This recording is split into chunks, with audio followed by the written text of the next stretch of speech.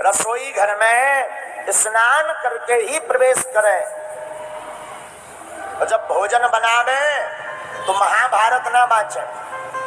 भोजन बनाते समय भगवान नाम स्मरण करते हुए रसोई बनावे।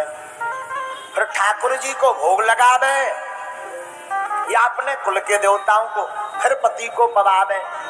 अरे पहले के जमाने में हमने माता जी के यहाँ देखा है हमारी माता जी जब रसोई बनाती थी तो पहली रोटी गौ माता को और जो अंत में रोटी बनती थी वो कुत्ता को।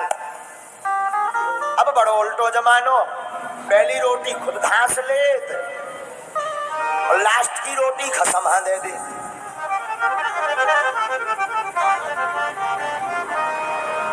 मानो क्या? अरे सीधी सी बात खुद गौबन भी चाहत कि हम गौ माता है और हमाओ खसम कुत्ता है। हम तो यही सोचेंगे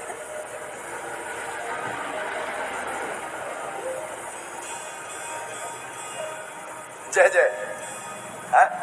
यही अर्थ हुआ? अरे साधु जी, जो भी प्रसाद बनवे, सबसे पहले ठाकुर जी को जिमाओ, मेरी माताओं जो भी प्रसाद बनवे सबसे पहले अपने कुल देवता को जिमाओ, ठाकुर जी को जिमाओ, इसके बाद वही प्रसाद सबको पवाओ तो सबकी बुद्धि शुद्ध हो जाएगी।